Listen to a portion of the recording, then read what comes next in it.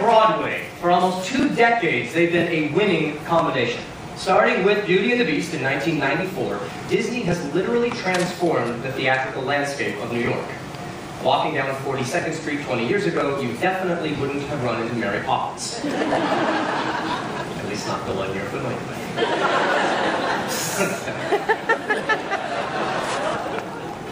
Our next guest has starred.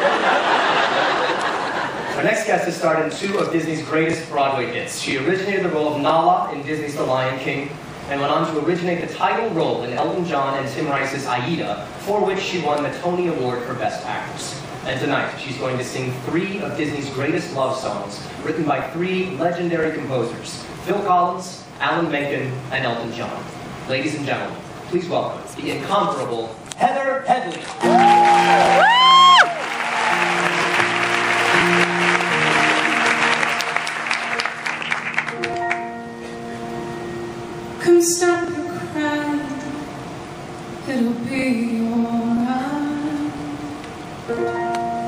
Just take my hand and hold me tight.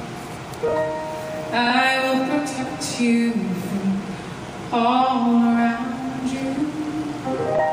I will be here to cry.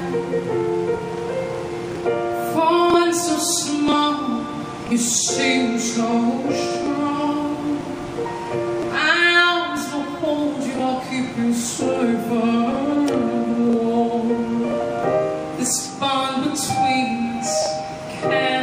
broken. I will be here to cry. Cause you'll be